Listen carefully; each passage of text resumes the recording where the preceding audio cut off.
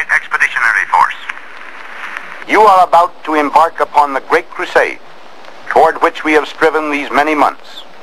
The eyes of the world are upon you. The hopes and prayers of liberty-loving people everywhere march with you. In company with our brave allies and brothers in arms on other fronts, you will bring about the destruction of the German war machine, the elimination of Nazi tyranny over the oppressed peoples of Europe, and security for ourselves in a free world. Your task will not be an easy one. Your enemy is well trained, well equipped, and battle hardened. He will fight savagely. But this is the year 1944. Much has happened since the Nazi triumphs of 1940-41. The United Nations have inflicted upon the Germans great defeats in open battle, man to man. Our air offensive has seriously reduced their strength in the air and their capacity to wage war on the ground. Our home fronts have given us an overwhelming superiority in weapons and munitions of war and placed at our disposal great reserves of trained fighting men. The tide has turned. The free men of the world are marching together to victory. I have full confidence in your courage, devotion to duty, and skill in battle. We will accept nothing less than full victory. Good luck, and let us all beseech the blessing of Almighty God upon this great and noble undertaking. 30 seconds, Yanks! Got me with you! Hey, Braeburn, you look like you're gonna puke. You know what, Danny? Why don't you just... Dog Company, listen up! Men on the beaches are counting on us to take out the coastal guns on those cliffs. Move fast, get topside, and get the job done!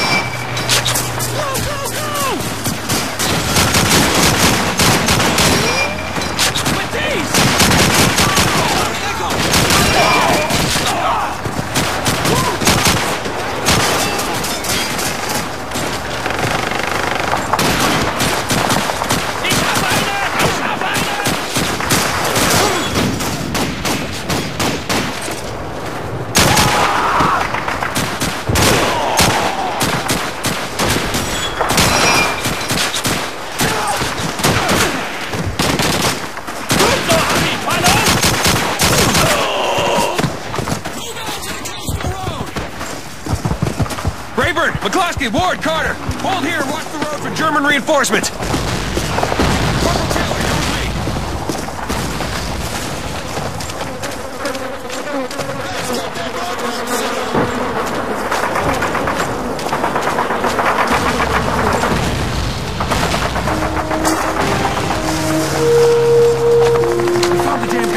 Get in there and fix them with your thermite grenades. I'll keep an eye open for Kraut patrols. I'll take the ones on this side.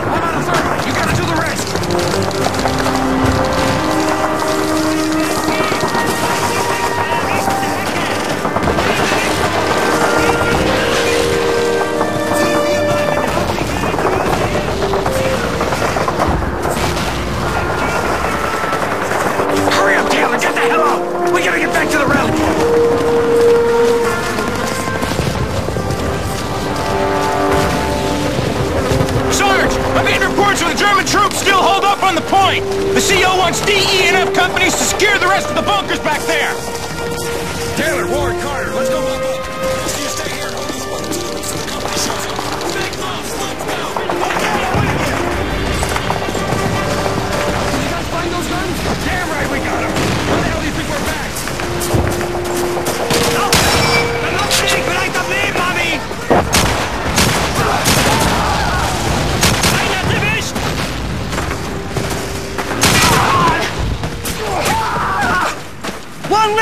worry about?